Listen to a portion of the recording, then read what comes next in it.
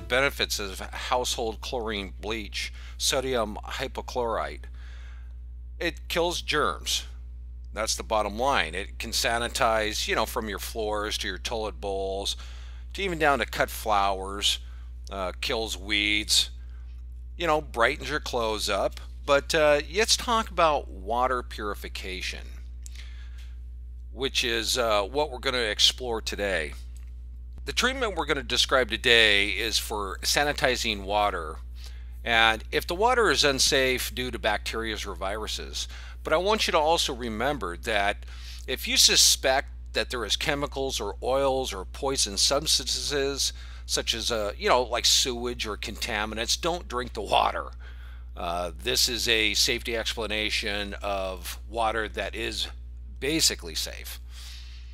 And I'll explain.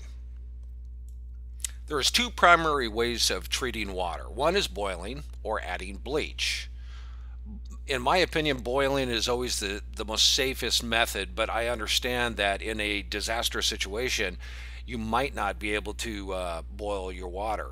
If the water is cloudy, try to filter it before you boil or add bleach. And you can do that by a coffee filter, paper towel, cheesecloth, anything uh, to get some of the substances out of it.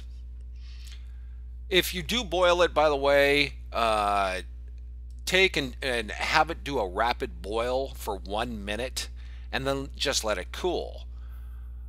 But uh, using Clorox bleach, is usually typically between 5 and 6%.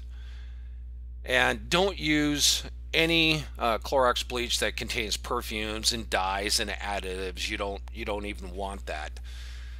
And these are the volumes and quantities uh, that you want. One quart, which is one liter, you would add three drops. If the water, for instance, is very cloudy, uh, then you add five drops and you let that sit in there for approximately uh, 30 minutes. If it's cloudy, of course, double it, 60 minutes. So everything is doubled here. One half gallon, which is two quarts, which is two liters, you would add five drops. But if it's a cloudy one, you add 10 drops. And so everything is being doubled. One gallon, one eighth teaspoon. Five gallons, one half teaspoon. If it's 10 gallons, one teaspoon. And of course you double it if it is cloudy. And the same principle goes if it's clear water, you know, you let it sit for 30 minutes. If it's cloudy water, 60 minutes. But let's talk about if it's extremely dirty. Uh, it's just not surface water, for instance. Let's say you go to a pond and it's pretty filthy.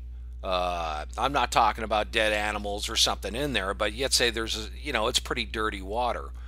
What you'll want to do is even double it again. So that means one half gallon, two quarts, which is two liters. You don't put 10 drops in it, you would put 20 drops in it. And instead of 60 minutes, you let it sit for two hours. The problem with this that you can get such a high level of chlorine in your water that it basically makes it unsafe to drink regardless. And so what you want to do in that situation is take the lid off and let it air.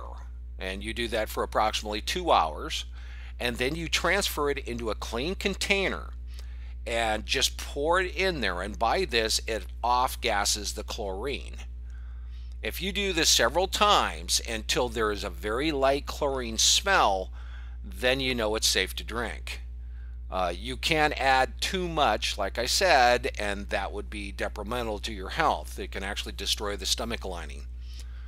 So those are the little uh, tips and tricks on water purification using Clorox bleach. I hope you enjoyed it.